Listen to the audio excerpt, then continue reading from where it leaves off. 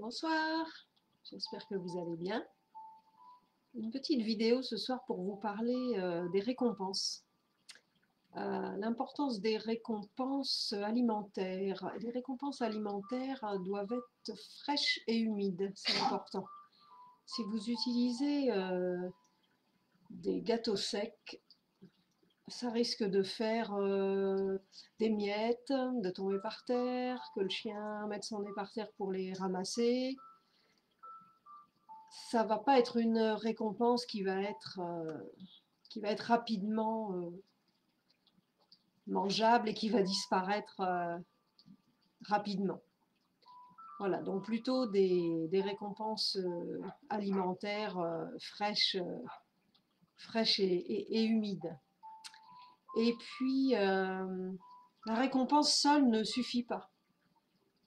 Il est important qu'il y ait une belle relation entre vous et votre chien et de la confiance.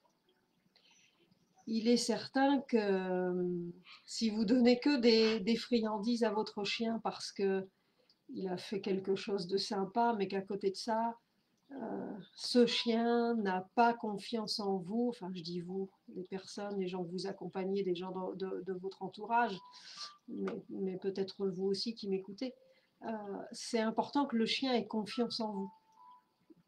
La récompense seule ne va pas suffire à créer quelque chose et euh, oui, la récompense va récompenser, ok, une action dans l'immédiat mais pour quelque chose de plus global, quelque chose de plus large, un lien fort doit exister entre votre chien et vous, une complicité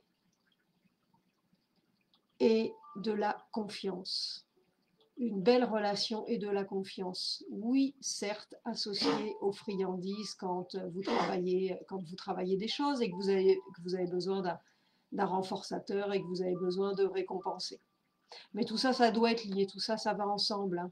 Valorisation, valorisation verbale, des caresses, la récompense, mais surtout une bonne, relation, une relation solide, de la complicité et de la confiance.